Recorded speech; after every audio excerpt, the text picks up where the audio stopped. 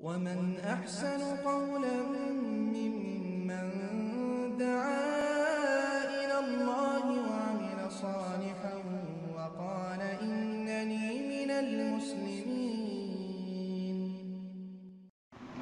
الحمد لله رب العالمين والصلاة والسلام على نبينا محمد وعلى آله وصحبه أجمعين. وبعد فعن أبي هريرة رضي الله عنه عن النبي صلى الله عليه وسلم قال آية المنافق ثلاث إذا حدث كذب وإذا وعد أخلف وإذا اؤتمن خان এই হাদিসটা আমি পাঠ করলাম সহি বুখারির তেত্রিশ নম্বর হাদিস ইমাম মুসলিম রহমতুল্লাহ আলী এটা উল্লেখ করেছেন হাদিস নম্বর হচ্ছে উনষাট ইমাম বুখারি রহমতুল্লাহ আলীর এই হাদিসটির শিরোনামে লিখেছেন বা আলামাতুল মুনাফিক। মুনাফিকের আলামত। এরপরে হাদিসটি তার নিজ দ্বারা উল্লেখ করেছেন যে আবু হরাই রহদিয়াল্লাহ আনহু বর্ণনা করেন আল্লাহ রসুন সাল্লাহ আলী ওসাল্লাম বলেছেন, মুনাফিকের আয়াত, মুনাফিকের আলামত তিনটি।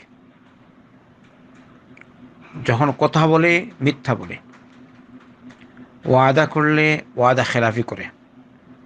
আমানত রাখা হলে আমানতের খেয়ানত করে।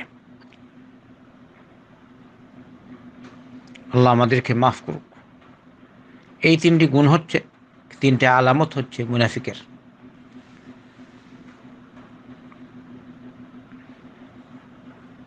তাহলে, এই যে তিনটি আলামত আমরা যারা মুসলমান, আমরা যারা মুমিন, আমাদের উচিত হলো আমরা এইসব গুণ থেকে দূরে থাকব। মুনাফিকের কোনো স্বভাব যেন আমাদের মধ্যে না থাকে। কথা বলার আগেই ভাববো, কথা সত্য না মিথ্যা? কখনো কখনো এরকম হয়, মজাকে মজাকে একদম টাটকা মিথ্যা বলে দেয়। আর না হয় আরেকজনকে আটকাবার জন্য মিথ্যা বলে দেয়। এবারে যদি আরেকজনের হক ছিনিয়ে নেওয়ার জন্য মিথ্যা বলে, তাহলে কত বড় অপরাধ ইদা হাদ্দে কাজাব যখন বলে মিথ্যা বলে। মুসলমান, তাই আমাদের উচিত আমরা মিথ্যা বলব না, কারণ এটা হচ্ছে মুনাফিকের স্বভাব। আর এছাড়া আমাকে লক্ষ্য রাখা উচিত, আমি যে কথাই বলি, ওই কথাই আমার লেখা রাখা, লেখা হচ্ছে। তে, যেহেতু আমার কথা লেখা হচ্ছে তাই আমি সত্য কথা মুখ থেকে বের করব মিথ্যা কেন বের করব আরেকটি কথা দেখবেন একটা কথা আমরা শুনলাম যাচাই না করে প্রচার করা এটাও মিথ্যার অন্তর্ভুক্ত আল্লাহ রসুল সাল্লাহ আলহি ওসাল্লাম বলেছেন অন্য হাদিসে كفى بالمرء كذبا أن يحدث بكل ما سمع মানুষের পক্ষে মৃত্যু খাওয়ার জন্য এতটুকুই যথেষ্ট যে সে যা শুনল তা বলল তাই একটা কিছু শুনলেই বলতে নাই। বলার আগে যাচাই করা উচিত। এটা প্রথম নম্বর যাচাই নেই। দরকার নাই এটা। নম্বর যদি যাচাই বলতে হয়, তাহলে যাচাই করবে। সত্য না মিথ্যা? তারপর বলবে। আল্লাহ আমাদের সকলকে হেদায়ত দান করুন। ভুল হয়ে যায় সকলে, আল্লাহ যেন মাফ করেন। দ্বিতীয় নম্বর কথায় হাদিসে মুনাফিকের আলামত ও ইদা ওয়াদ আখলাফা। ওয়াদা করল, ওয়াদা খেলাফি। বলল, ভাই, আমি আপনার সাথে সকাল আটটায় আপনার সাথে সাক্ষাৎ করব।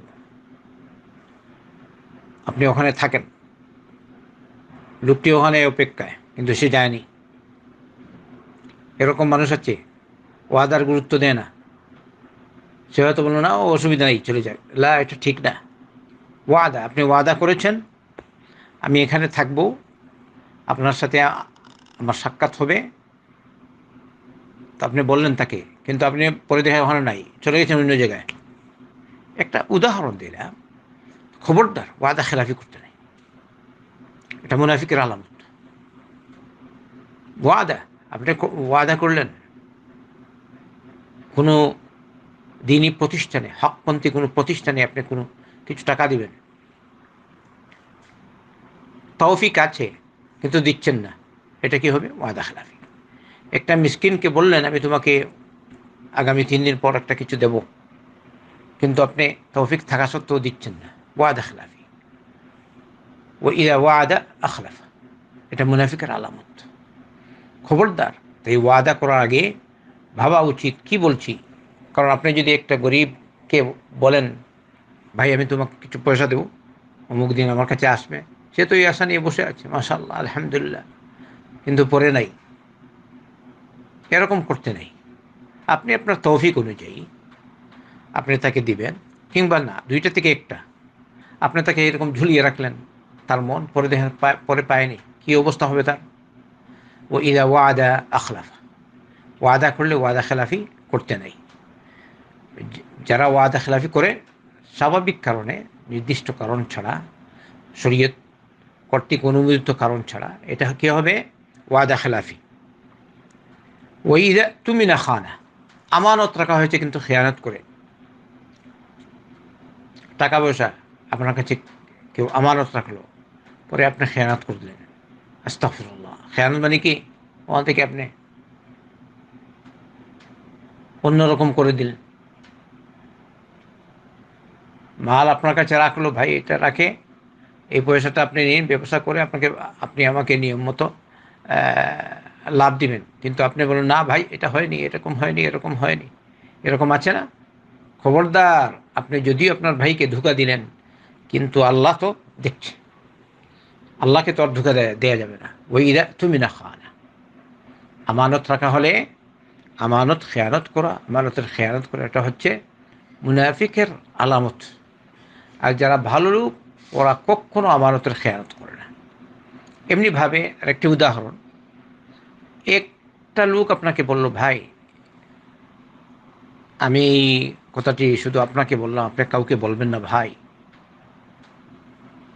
তো এটা হচ্ছে তার আমানত। সে আপনাকে শুধু বলেছে, কিন্তু আপনি অন্যের কাছে গিয়ে বলে দিলেন, এটা কি হলো? আমানতের খেয়ানত। আচ্ছা একটা লোক আপনার সাথে কথা বলছে, কোনো একটা বিশেষ কারণে। ডানে বামে তাকাচ্ছে, কেউ দেখছে কিনা? মানে সে চায় না অন্য কিছু নাতে। শুধু আপনাকেই বলছে। কিন্তু আপনি কি করে এটা ফাঁস করে দিলেন? এটা হলো আমানতের খেয়ানত। যাই হোক, আল্লাহর কাছে দোয়া করি। আল্লাহ যেন আমাদের সকলকে সব রকমের নাফরমানি থেকে বাচ্চা তৌফিক দেন। মুনাফিকের যেসব গুণ, গুণাবলী রয়েছে, মুনাফিকদের, ওইসব গুণাবলী থেকে আল্লাহ যেন আমাদেরকে মুক্ত রাখেন। সত্যিকারের ইমানদার হওয়ার জন্য আল্লাহ পাক আমাদের সকলকে তৌফিক দান করেন। ওসল্লাহ ওসাল্লাম আলা নবীনা মুহাম্মদ وعلى آله وعلى آله وصحبه أجمعين.